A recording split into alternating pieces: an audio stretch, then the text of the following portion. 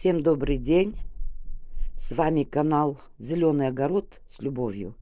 Сегодня я хочу рассказать вам, какие компоненты, что нужно для того, чтобы сделать смеси грунт для рассады.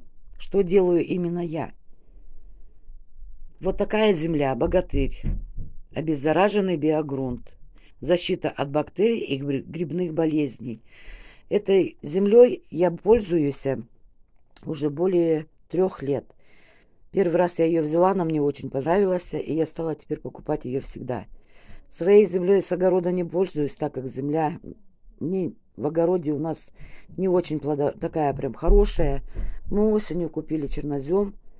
Мы раскидали по всему огороду этот чернозем. Перекопать, правда, не успели, так как выпал снег, начались заморозки. Но это все мы будем делать весной.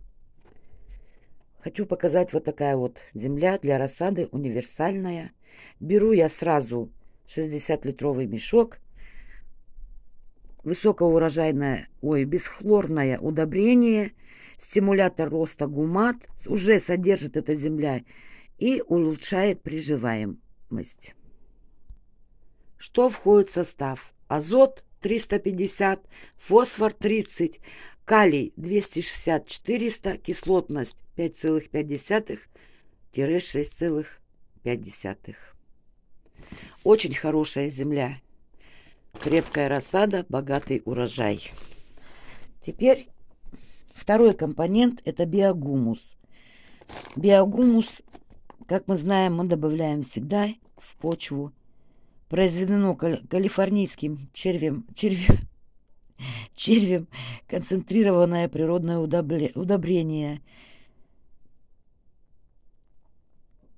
Эффект от применения при внесении достаточного количества примерно 1 литр на 10 литров.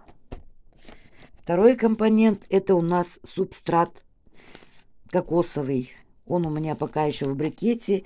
Прежде чем его добавлять в почвосмесь, его нужно обязательно замочить, чтобы он разбух. У меня этот субстрат именно для рассады. Следующий это у нас вермикулит, который я тоже добавляю в почву. И, конечно же, разрыхлитель почвы – это агроперлит. Вот эти пять компонентов я завтра покажу вам, как я их смешиваю, как я готовлю почвосмесь для рассады. Спасибо за внимание. Желаю вам всего самого доброго, самого наилучшего. Подписывайтесь, ставьте лайки, дизлайки. Всего вам доброго, хорошего, хорошего урожая в этом году. До свидания.